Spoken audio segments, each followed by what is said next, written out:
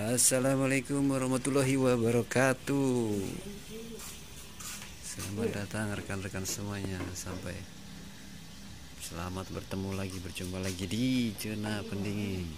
Kali ini Saya menemukan kasus pada kulkas LG 2 pintu inverter. Keluhannya tidak bisa dingin. Bagaimana cara memperbaikinya? Yuk simak videonya. Sampai selesai Jangan di skip tapi semuanya kita coba nyalakan dulu kulkasnya. Coba colokan lah ya. kita colokin guys ya. Kita cek. Nyala nggak mesinnya kita tunggu sebentar ya guys. Coba mbah dibuka mbah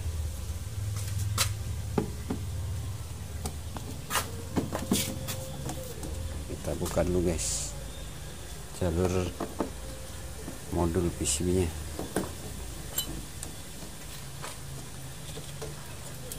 hmm. kita cek dulu guys. Sini aman. Ya kita coba kita cek dulu di bagian dalam guys ya.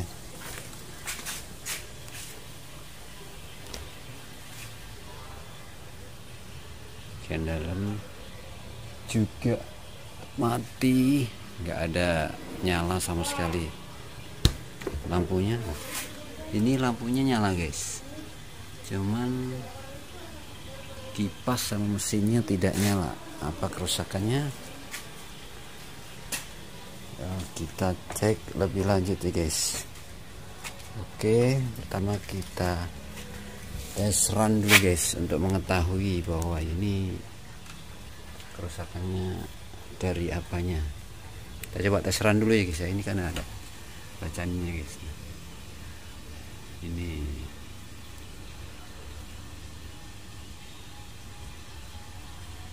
Ada tampilan di sini gitu ya. Ya kita coba. Cek ya kita coba on kan ini guys. Ini ada tombol. Kecil nih guys ya kita coba. Kalau kompresornya nyala berarti kemungkinan kompresornya tidak ada masalah. Oke guys kompresornya nyala ini guys. Berarti ada kemungkinan kompresornya tidak ada masalah sesuai dengan instruksi di sini tadi. Ya guys. Di situ menjelaskan bahwasanya untuk tes run tes run kita bisa coba tekan tombolnya sekali. Jika kompresor nyala berarti kompresornya tidak apa-apa tapi mungkin ada keluhan di bagian dalamnya. Bisa jadi termopiusnya atau juga mungkin komponen yang lainnya. Oke. Oke guys. Uh, kita coba buka dulu. Mbah buka di bagian dalamnya mbah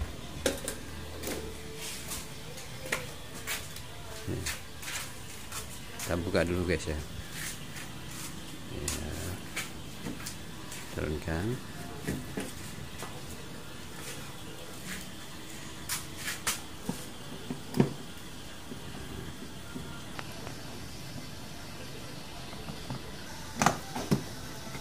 Nyala kipasnya mbak?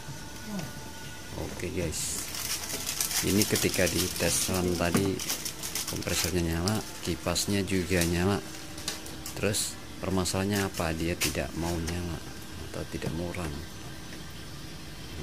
dan tidak mau dingin karena masalahnya. Ya coba kita buka dulu guys ya.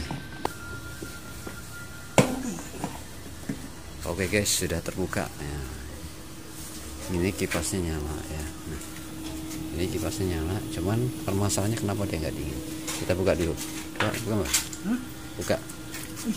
Ya kita buka dulu guys ya ayo mbak buka mbak ya, wah. Oke sudah bisa. Agak turunkan sedikit ya. Turunkan dikit cek itu termopiusnya oke guys kita buka dulu termopiusnya ya. Oke buka.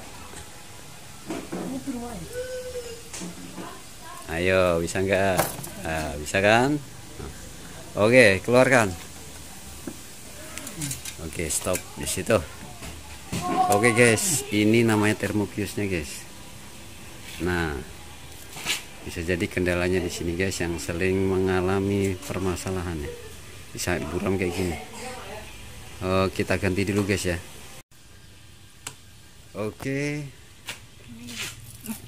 Kita pasang dulu ini yang baru ya, ya ini tadi yang ini.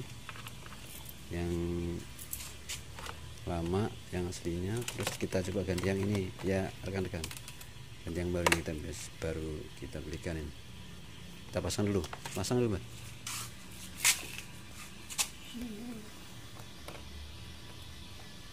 Rekan-rekan ini sudah terpasang. Ya, kita coba dulu ya kita nyalakan.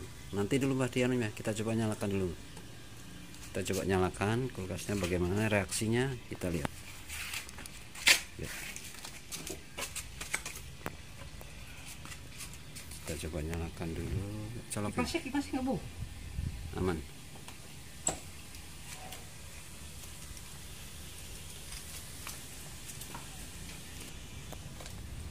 Kita kita tunggu sebentar ya karena kan paling nggak ya 5 sampai 10 menit. Biasanya baru nyala. Kita tunggu aja sebentar ya.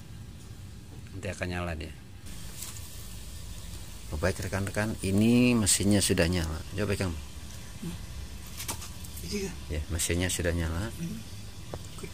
Dan kondisi ininya sudah tidak ada ketipan lagi.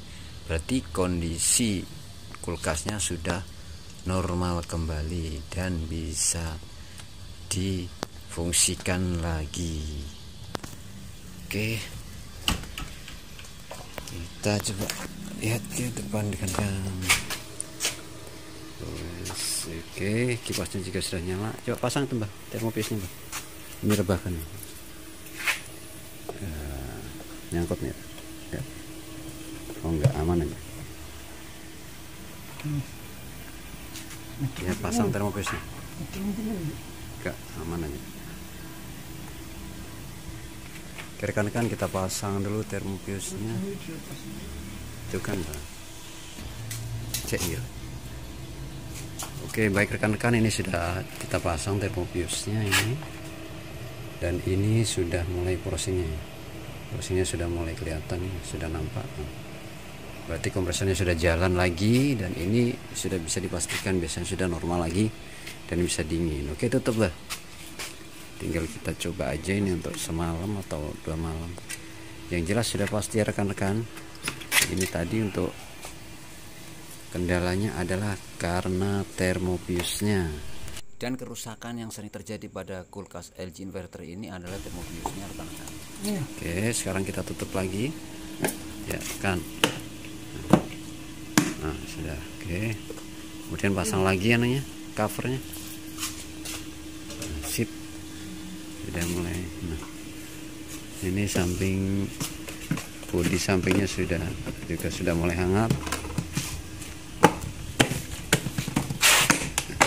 oke kita tutup dulu pastikan baik rekan-rekan jika dirasa video ini bermanfaat buat kalian dan bisa membantu kalian boleh dong bantu supportnya untuk subscribe, like dan share video ini supaya channel ini semakin berkembang ke depannya. Dan jika ada saran atau komentar yang mau disampaikan silahkan tulis di kolom komentar. Baik rekan-rekan cukup sekian video kali ini sudah jelas kerusakannya ada pada termobiusnya tadi. Sampai bertemu di pertemuan berikutnya. Dadah. Assalamualaikum warahmatullahi wabarakatuh